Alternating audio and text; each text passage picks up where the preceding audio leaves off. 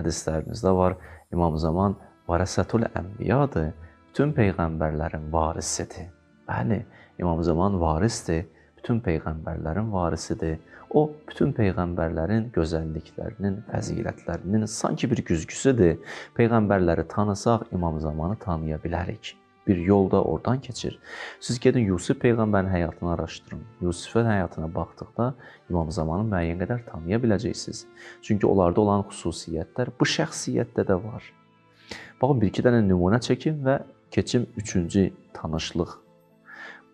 Yusif peyğəmbər qardaşları gəlir, Yusifi axtarır. Daha doğrusu gəlirlər Misrə. Qardaşlarını Yusif tanıyır, amma qardaşları Yusif tanımır. Qardaşları Yusifi tanımır. Hədislərdə var, İmam Zaman zuhur eləyəndə bəzi insanlar deyəcək, biz bunu tanıyırdıq, görmüşdük sanki. Və yaxud Yusuf peyğəmbər bilirsiniz nə qədər gözəl siması var idi. Həmin gözəl sima İmam Zamanda da var. Əyyub peyğəmbərin həyatını araşdırın. Nə qədər səbir elədi, nə qədər çətinliklərlə üzləşdi. Həmin səbir İmam Zamanda da var. Bilirsiniz İmam Zamanın ləqəblərindən biri müntəzirdir. Necə ki, biri müntəzərdir. Müntəzər yəni onun intizarında bizik. Müntəzirdir, yəni o da intizardadır bu qədər çətinlik, bu qədər müsibətlərə səbr etmək məgər asandır?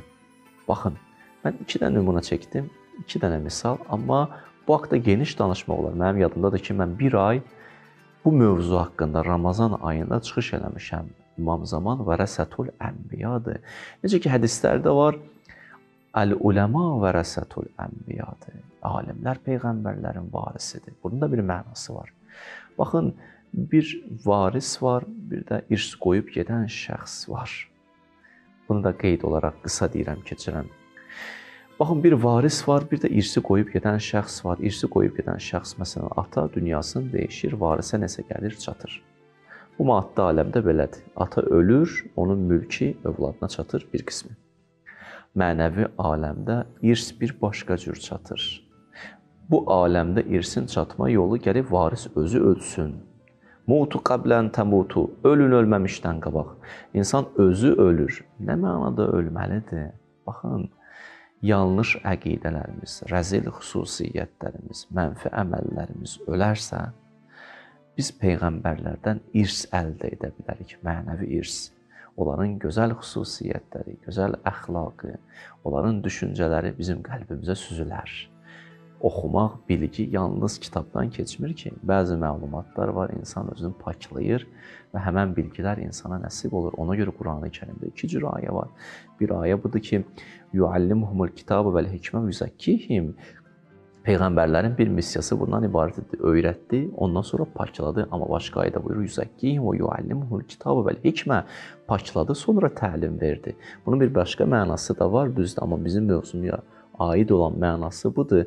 Bəzi bilgilər paklandıqdan sonra verilir. Və mən yettəqillah yecəlləhu furqan. Əgər təqvalı olsaz, paklaşsaz, sizə furqan verərəm, bəzi bilgilər verərəm, haqqı batildən ayıra bilərsiniz. Mövzudan çox uzaqlaşmayım.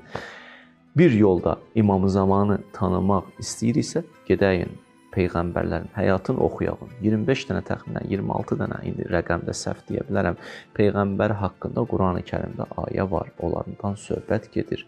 O mövzuları araşdırsaq, onları tanısaq, öz peyğəmbər, öz imam zamanımızı tanıya bilərik.